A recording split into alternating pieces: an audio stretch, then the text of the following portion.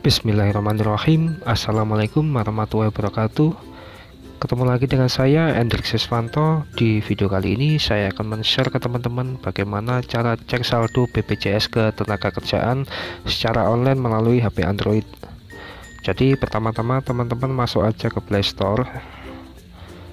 Lalu ketik BPJS TKU lalu klik lalu teman-teman install saja aplikasinya ini oke? Okay? aplikasinya ini size-nya cukup kecil yaitu 10 MB kita tunggu saja sampai proses instalasinya selesai.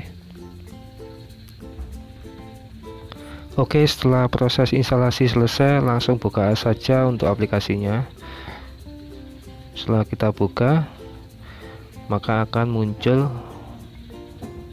menu kayak gini oke ditunggu saja. Nah masih loading lah. Maka akan muncul menu kayak gini. Kita izinkan. Nah ini adalah empat program perlindungan BPJS ketenaga kerjaan. Setelah muncul menu seperti ini teman-teman klik bagian kanan bawah profil itu. Klik lalu akan muncul uh, menu skin kayak gini atau peringatan kayak gini. Klik saja lanjutkan nah.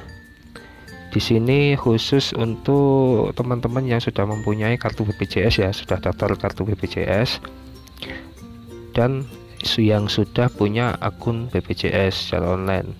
Bagi yang belum uh, mendaftar akun BPJS maka teman-teman langsung saja klik sebelah kanan ini buat akun. Mungkin nanti kalau teman-teman e, mau tahu caranya silahkan komen di bawah. Maka saya akan nanti bikin video terpisah untuk bagaimana cara buat akun barunya.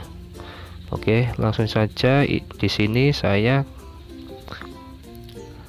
e, masukkan email yang sudah saya daftarkan.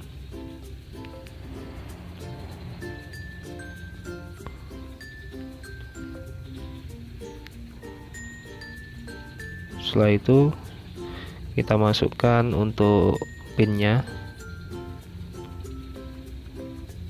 lalu klik login.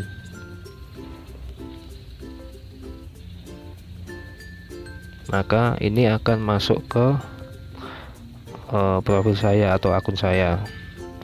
Untuk mengecek untuk saldo BPJS nya teman-teman langsung saja klik yang sebelah tengah ini yang bawah lihat kartu dan saldo JHT nah ini kita klik lalu masukkan pin yang sudah dibuat tadi sebelumnya itu.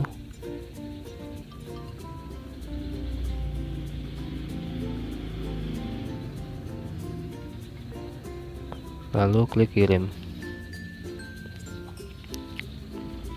Nah ini adalah saldo terakhir BPJS ke tenaga kerjaan saya. Adalah saldo BPJS ke tenaga kerjaan saya. Oke sangat gampang kan Oke sekian dulu video dari saya. Semoga bermanfaat. Jika kalian suka video ini silahkan like share komen dan subscribe. Sampai jumpa di video saya selanjutnya. Thank you. Bye bye